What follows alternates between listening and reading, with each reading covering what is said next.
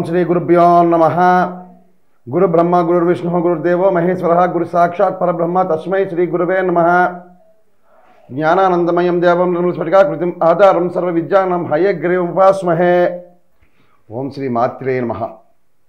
విపంచి భక్తి ప్రేక్షకులందరికీ ఈ విపంచి ఛానల్ను ఆదరిస్తున్నందుకు నన్ను ఆదరిస్తున్నందుకు మీ అందరికీ నా యొక్క హృదయపూర్వక నమస్కారాలు. ఇప్పటిదాకా ఈ ఛానల్ని ఎవరైనా సబ్స్క్రైబ్ చేయకపోతే ఒకసారి సబ్స్క్రైబ్ చేసుకుంటే చాలా మంచి మంచి విషయాలన్నీ కూడా మనం తెలియజేసుకుందాం. మీకు కూడా చాలా విషయాలు తెలుస్తాయి.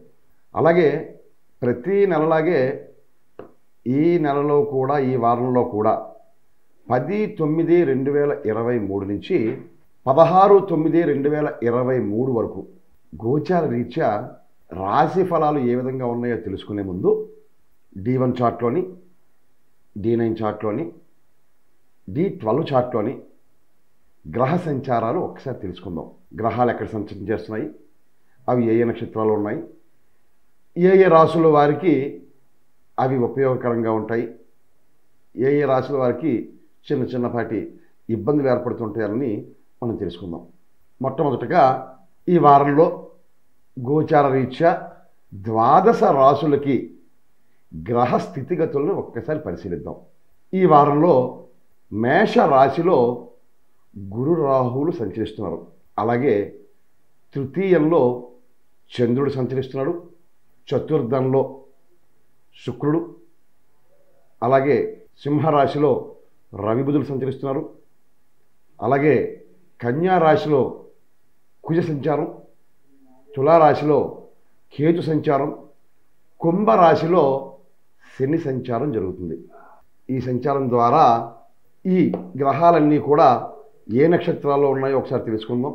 ఆ నక్షత్రాలను బట్టి డి నైన్ చార్ట్లోకి ఎక్కడికి వస్తాయి? డి ట్వెల్వ్ చార్ట్లోకి ఎక్కడికి వస్తాయి అనే సంగతి మనకు తెలుస్తుంది. రవి పుబ్బ మూడవ పాదంలో ఉండడం జరిగింది.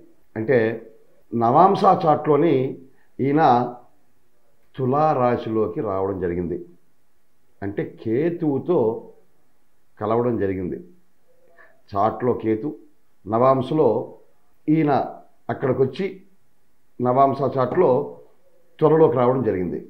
అలాగే చంద్రుడు పునర్వసు మూడవ పాదంలో ఉన్నాడు. ఆయన నవాంశ చాట్లో మిథున రాశిలోకి రావడం జరిగింది. అలాగే కుజుడు హస్త రెండులో ఉన్నాడు. అంటే అంశలోని వృషభ రాశిలో సంచారం జరుగుతుంది. బుధుడు పొబ్బ ఒకటో పాదంలో ఉండడం జరిగింది. ఈయన సింహరాశిలో సంచారం. గురుడు భరణి మూడో పాదంలో ఉండడం జరిగింది. అంటే అంశ చాట్లో మళ్ళీ తులారాశిలోకి రావడం జరిగింది. శుక్రుడు ఆశ్లేష ఒకటో పాదం. అంటే ఈయన ధనుర్రాశిలోకి నవాంశ చాట్లు రావడం జరిగింది. శని శతభిషం ఒకటో పాదం. అంటే మళ్ళీ ఈయన కూడా ధనురాశిలోనే సంచారం జరుగుతుంది. రాహు అశ్వని నక్షత్రం ఒకటో పాదంలో ఉన్నాడు అంటే మేషంలోని ఆయన సంచారం. డి వన్లో కూడా మేషంలోనే ఉన్నారు.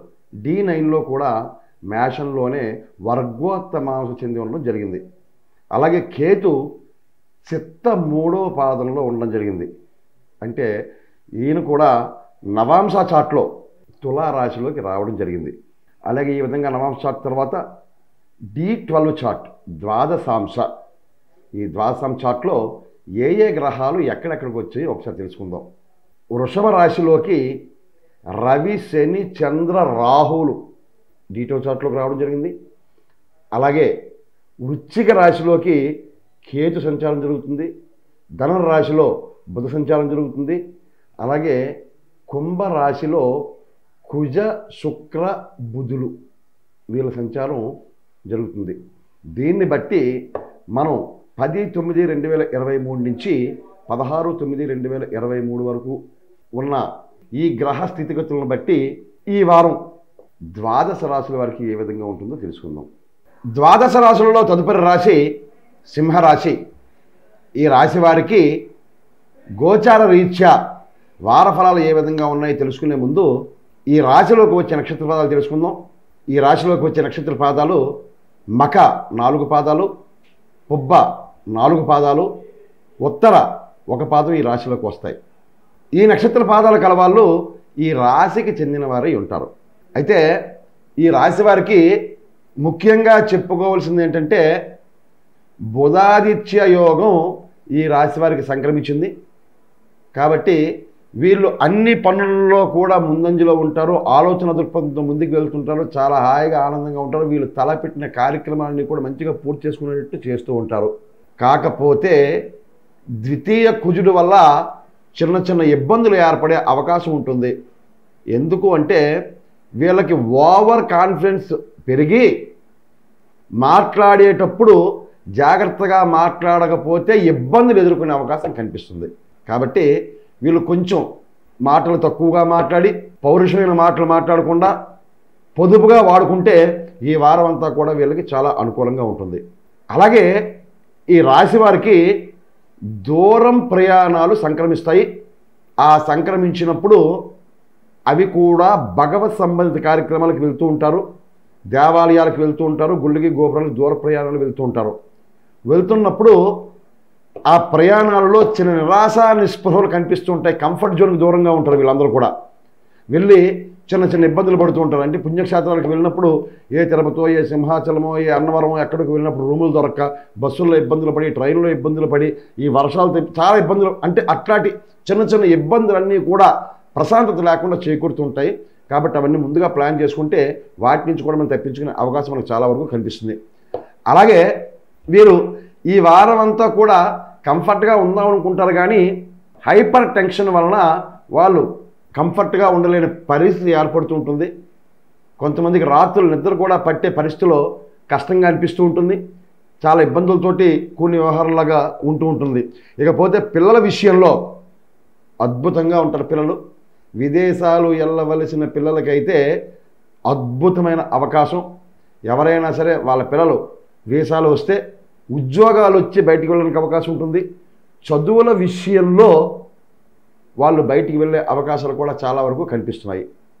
ఒక ఆడపిల్లలకి తప్ప మగపిల్లలకైతే మాత్రం ఈ వారం అంతా కూడా చాలా వరకు అనుకూలంగానే ఉంది. అలాగే భార్యాభర్తల విషయంలోకి వస్తే భార్యాభర్తలు అనుకూలంగా ఉన్నట్టే ఉంటారు కానీ మనసులోని చిన్న చిన్న ఇబ్బందులు అయితే పడుతూ ఉంటారు. భార్య మీద భర్త భర్త మీద భార్య అవి బయటికి చెప్పుకోలేక అరమరికలు లేక ఏదో అలా వెళ్తూ ఉంటారు తప్ప కానీ వాళ్ళు హాయిగానే ఆనందంగానే ఉండడం కనిపిస్తూ ఉంటుంది.